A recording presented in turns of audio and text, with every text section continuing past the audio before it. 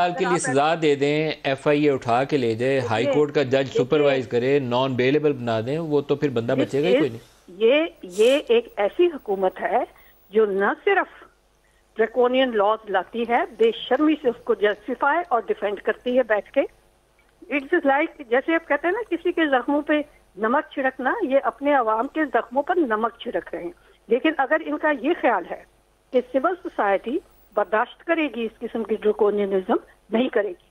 Section 20 भी challenge हो चुका था। इस ऑर्डिनेंस के आने से पहले और ये ऑर्डिनेंस भी चैलेंज हो गया है। मुझे सिर्फ़ अफसोस ये है कि ऑर्डिनेंस जो चैलेंज किया, वो भी सिविल सोसाइटी ने किया है। बार काउंसिल ने किया है जर्नलिस्ट एसोसिएशन ने किया है।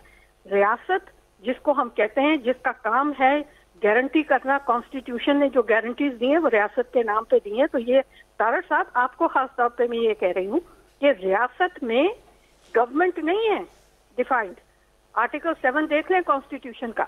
पार्लियामेंट है असेंबलीज हैं लोकल गवर्नमेंट है। ये रियासत सिविलियन रियासत है और पार्लियामेंट को चाहिए था कि सबसे बड़ा स्टेक होल्डर होने के हवाले से आप लोग सबसे पहले उठते और कदम उठाते।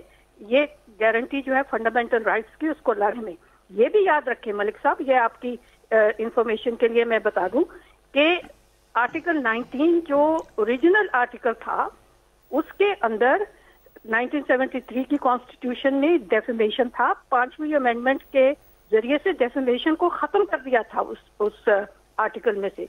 उसको निकाल दिया था डिलीट कर दिया था।